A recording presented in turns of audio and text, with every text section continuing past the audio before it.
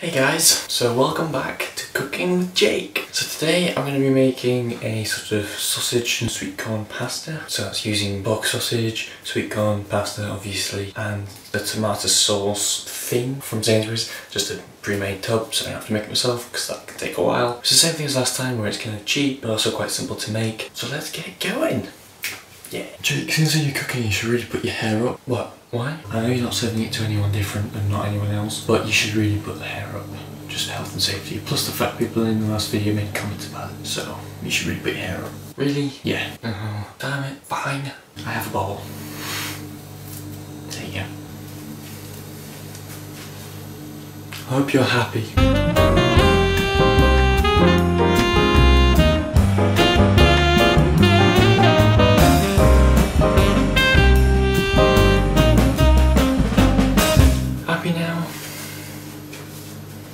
That good enough for you? It's good enough for me. I'm gonna put my beanie on. My head's cold. Yeah, there we go.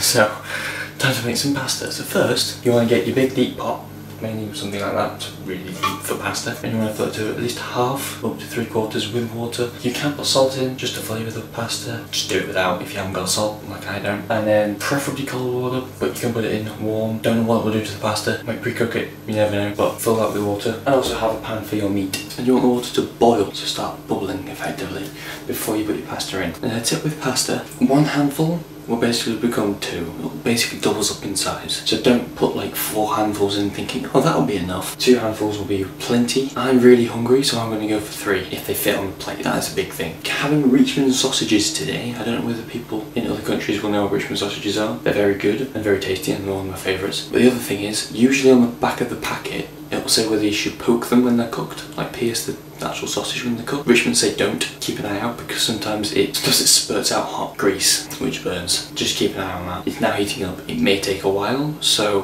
while that's heating up, you want to put a little bit of water in your meat pan, your frying pan, and put the sausages in. You should have defrosted them or just brought them in. So it gets a little bit of water to put in the bottom of the pan just to keep it so it doesn't stick while it's cooking.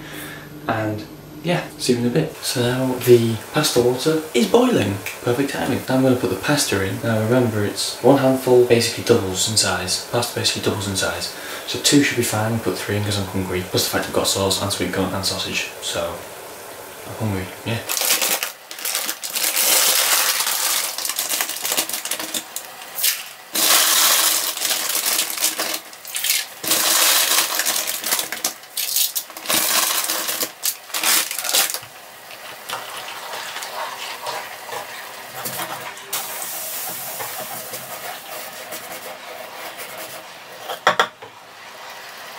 Always remember to keep pasta stirring because when it's dry, you just put it in, it'll get really sticky. So stir it for five minutes, just keep it continuously moving so it heats up.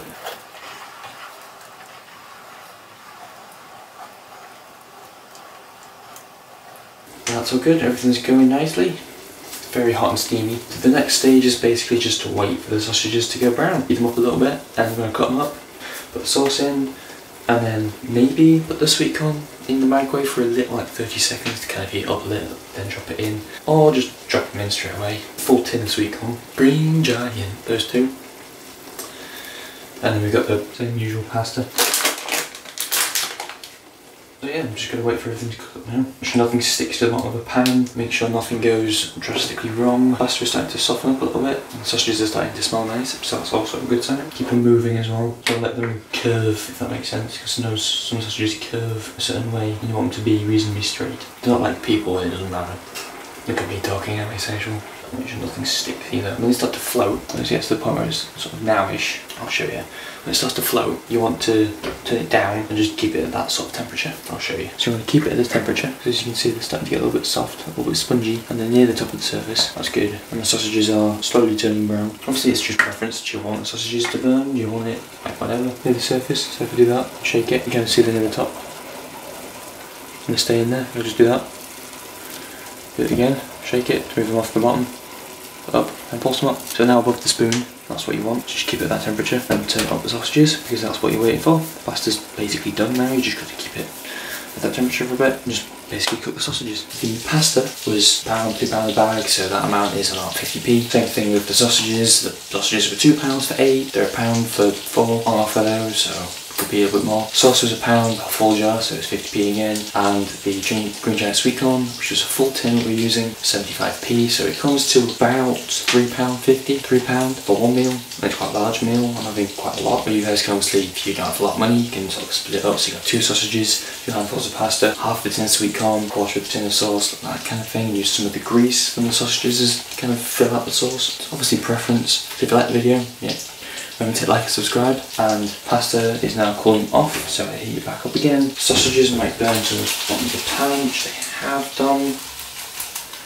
Give them a little bit of a shake. So yeah that's it for now. I'll talk to you when the sausages are done cooking. All that good stuff. See you in a bit. Now I'd say these sausages are definitely done. I mean the pan looks gross.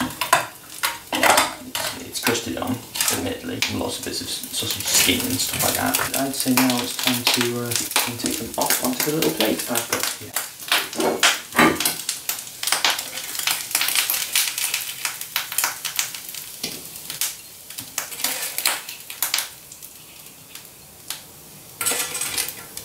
Now it's time to pour some of this on. It may go far away from you.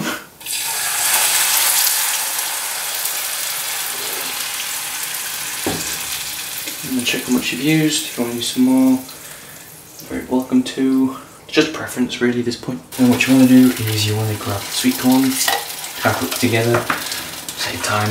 You want to get rid of some of the liquid as well, not all of it, because you can use some of it in the sauce.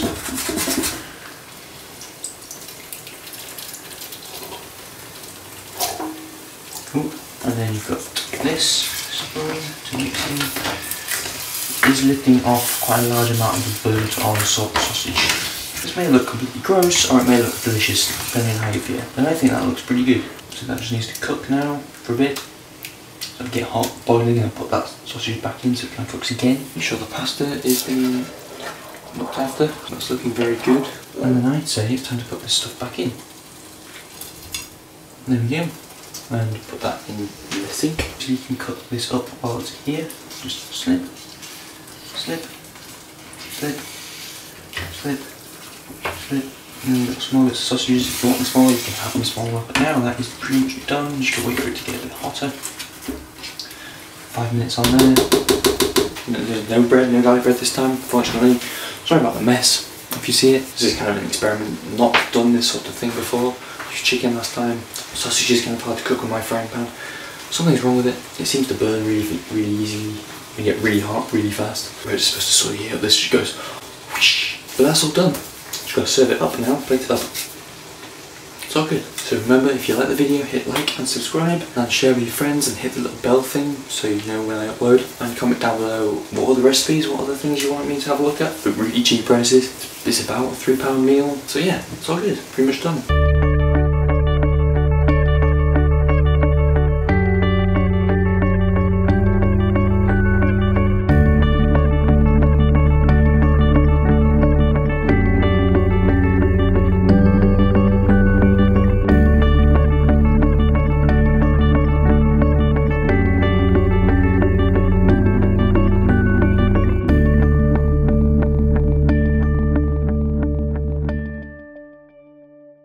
Hey guys, so time to plate up I think. Pasta's warm, it's nearly brown. I've just turned it off to make sure it doesn't burn or get stuck. This is definitely hot, you can see it hear it.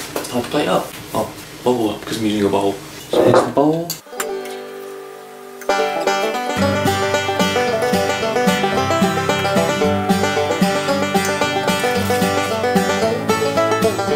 One bowl. This is all for me, but I've made too much food.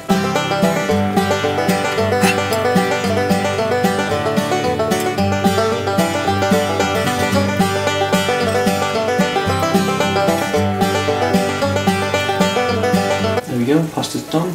Make sure there's nothing left.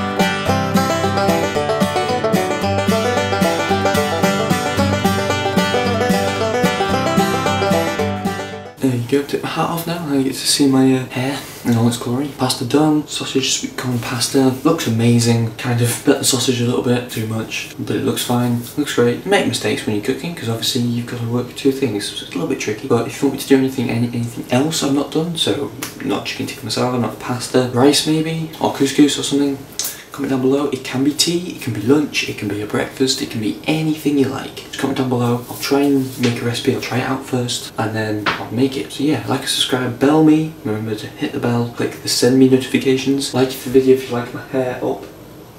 Kind of gone a bit purple. It was blue, it should really go green, not purple. Anyway, remember to like and subscribe. See you next time. You guys are awesome, beautiful, and great chefs. See ya.